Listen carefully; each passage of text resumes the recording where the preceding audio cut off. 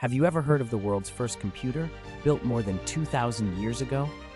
In 1901, sponge divers exploring the coast of a tiny Greek island called Antikythera stumbled across a shipwreck. Among the treasures, statues, pottery, jewelry, was a strange lump of corroded bronze and wood. At first, it was dismissed as nothing important, just debris, but hidden inside were gears, dozens of them, crafted with incredible precision. It wasn't until decades later, with X-rays and digital scans, that scientists began to understand what they had found. This lump of bronze turned out to be a machine unlike anything else from the ancient world. A device now called the Antikythera mechanism.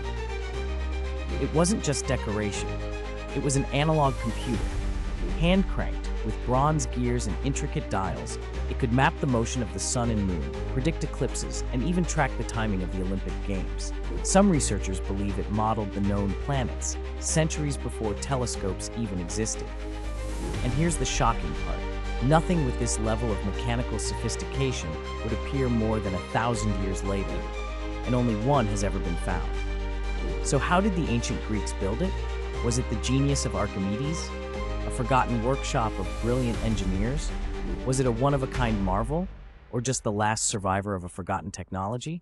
Or perhaps knowledge borrowed from an even older civilization, now lost to time? The truth may still be lying at the bottom of the Aegean Sea. Like and subscribe for more interesting history and fascinating facts.